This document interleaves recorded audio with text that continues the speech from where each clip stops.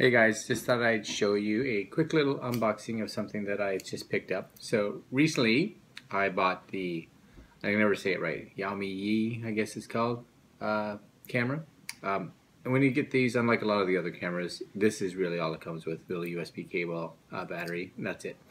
Um, so I'm going to want to wear this when I'm riding, and when I ride, there are, or there is a chance that uh, it could rain or anything like that. So I went out and I ordered off of eBay, so I'll put a little thing right here. Um, a little waterproof uh, container for it. It was like ten dollars Canadian, free shipping, all that goodness for this. So anyway, came in this little bag, which is what you always kind of get when you get something from eBay. And we'll kind of open it here. And inside this bag is another bag, and inside that bag is the case. So about ten dollars, so not too bad. Uh, and there it is. So, you know, it feels like every other container. I'm not gonna test this right now and put it underwater or anything like that. Again, for me, its biggest concern is is is it going to, um, for one, here just be okay if it gets splashed in the rain.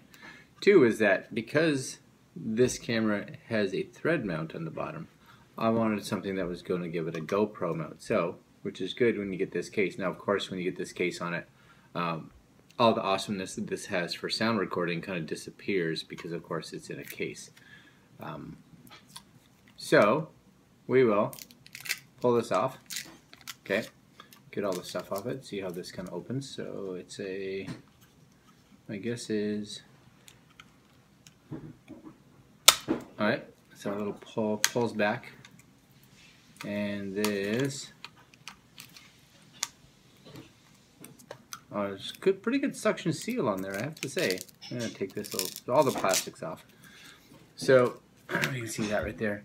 You know it's got a pretty snug seal on it right? But you can't even almost get it all the way in when it's there. Like that's it's got a pretty good seal. And then that basically she just clamps on the outside and then you push it down got a good solid clamp to it. So, not bad. And then of course just kind of lift that up. And I guess the key now is, oh yeah, it's, it's, not bad. And that's, it's just, it's like a silicone cell or a silicone uh, line that goes around that. So that should help. So, I'm going to take this. And let's see if this works. So, all the buttons should line up. Goes in there nice.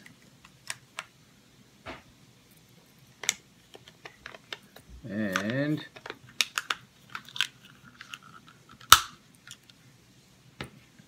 there you go.